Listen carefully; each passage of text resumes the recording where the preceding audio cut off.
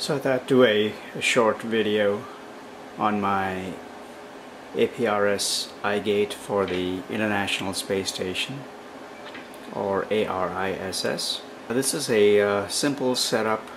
The goal here is to basically receive the digipeated packets by the International Space Station under the alias ARISS and a digipeater call sign, one of them being RS0ISS.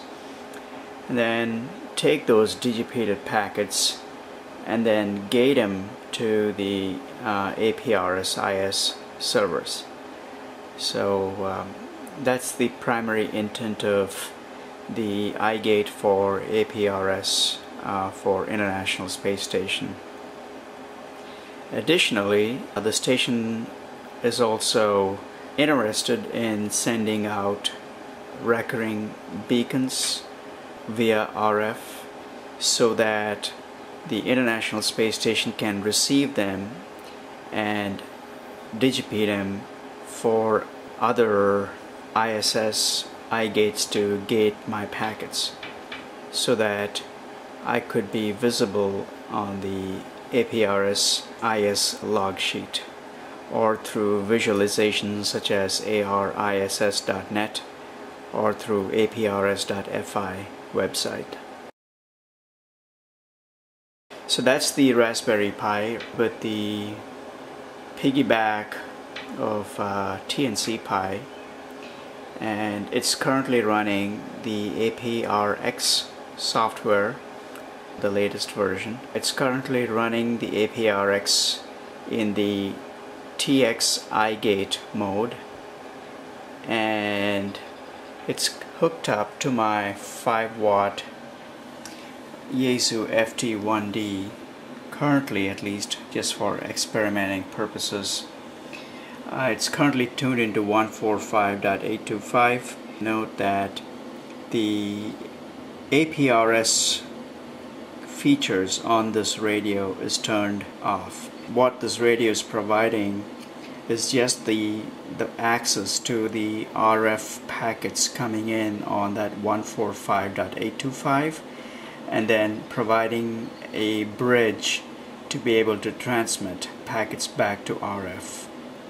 So it's really just a TX-RX node tuned into 145.825 and it's really not leveraging the APRS capabilities of this radio which is really not required for this particular operation because most of the processing is handled by the APRX software and by the TNC Pi from a hardware software standpoint. So this radio could really be replaced with whatever radio that knows how to receive and transmit. So it could be a Baofeng UV5R it could be another radio like this one, Yaesu VX8R, or a 75 watt uh, Yaesu FT2900. I'm also experimenting with this radio in parallel with uh, the FT1D.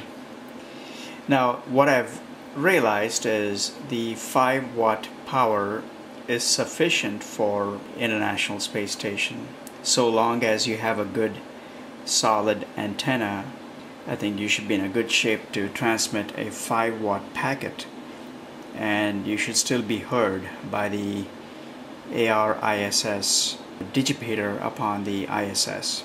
And also you need a good antenna for reception so that you're hearing really feeble packets coming in over RF.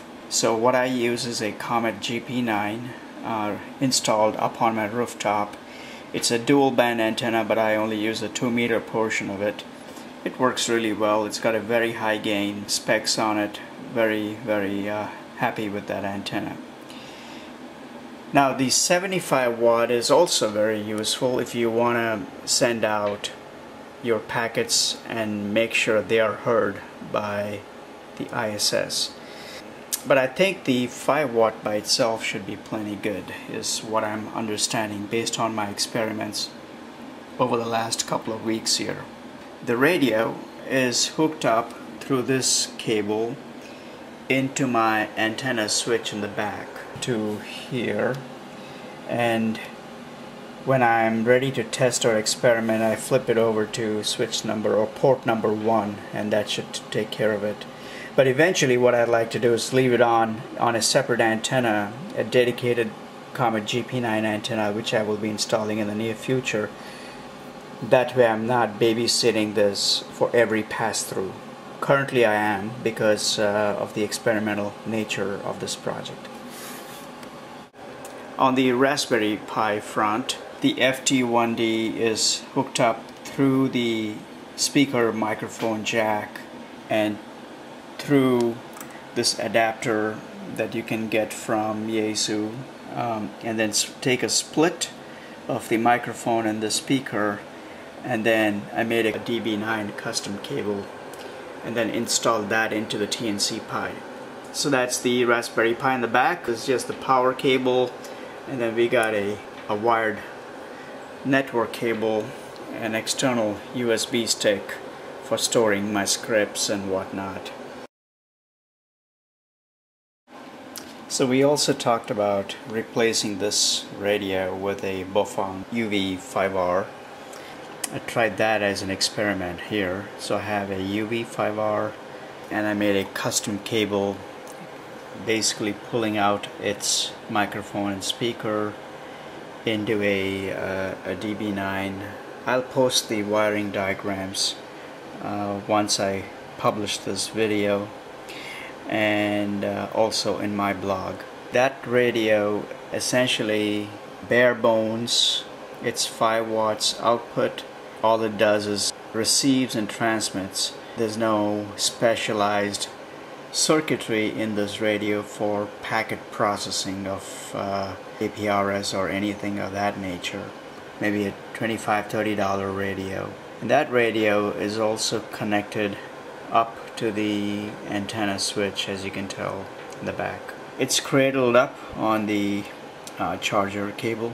Now one thing to note is data is received by Baofeng. It basically sends it out through the speaker line and then that's received by the TNC Pi through the DB9 port and obviously there's some calibration that needs to happen at the TNC Pi level for making sure that it is receiving the audio at a level that's sufficient enough for the TNC Pi to parse, digest, understand what those audio waves really mean and convert those to APRS understandable packets.